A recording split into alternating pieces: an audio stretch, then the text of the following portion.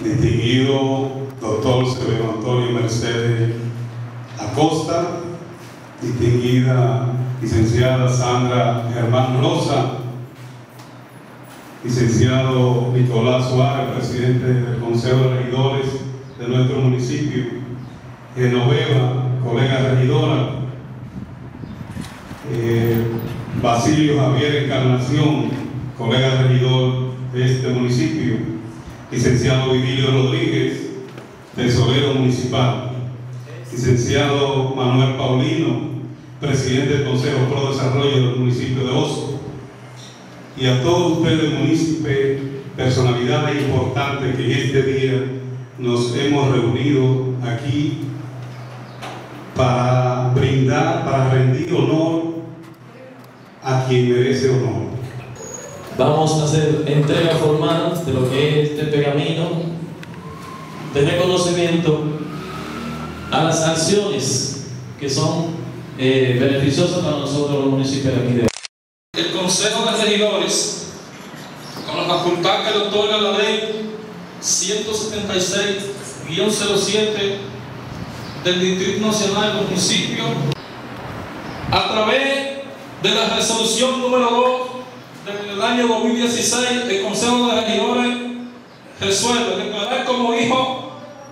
adoptivo del, del municipio Eugenio María de Hostos al señor Severo Mercedes se ordena entregar un pergamino de reconocimiento de la presente resolución dada en la sala de sesión del Ayuntamiento Municipal de Hostos a los 10 días del mes de junio del año 2016. Este ayuntamiento y el Consejo de Regidores declara a partir de hoy al doctor Severo Mercedes como hijo adoptivo de nuestro municipio. Muchas gracias. Buenas tardes. Yo primero quiero darle las gracias a Dios por darnos la oportunidad de compartir este momento con ustedes y expresarles que me siento muy emocionado con la palabra de, de ustedes y darle las gracias al Consejo de Regidores y a su, a su presidente, eh, Nicolás y sobre todo a Federico Rojas,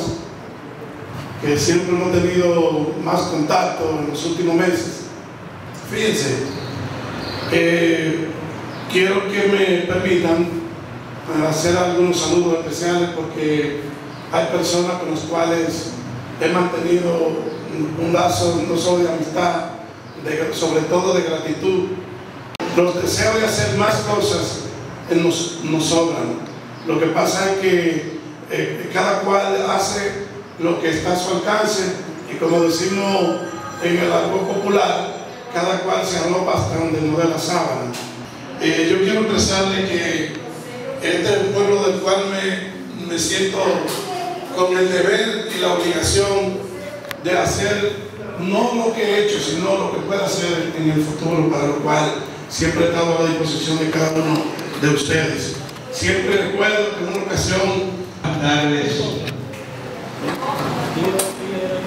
al doctor Severo Mercedes, a mi prima licenciada Sandra Germán, a su hermana Miguelina y a la hija de, de Emmanuel, el más pequeño del matrimonio, Nita Rosa y hermanos.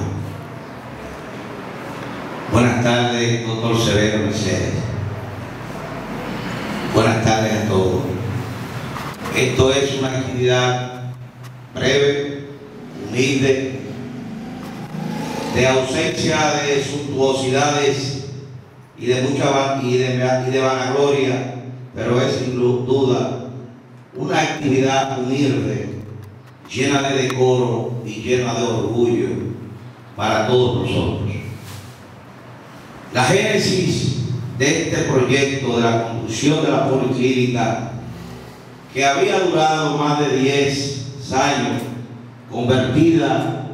en un vertedero de basura, en un sitio de fornicación, en un sitio de consumo de drogas, en un sitio de guarañas de ladrones, hoy está convertida en un hermoso edificio que nos favorece enormemente en términos de sanidad pública básicamente, pero también en términos de presencia. Cuando se entra a un pueblo, cuando se entra a un país, lo primero que observa la persona es lo que está primero a su alrededor. Y cuando tú llegas a un municipio, que lo que observa al llegar es una guardería anormal y un esperpento anormal de estructura, inmediatamente da la lectura de que el municipio ha, ha tenido y tiene problemas de desarrollo. En el Frente Amplio de Lucha Popular, que debió de incluirse en el introito de esta ceremonia, salió la idea original de utilizar al doctor Severo Mercedes como punta de lanza para la conquista de ese local.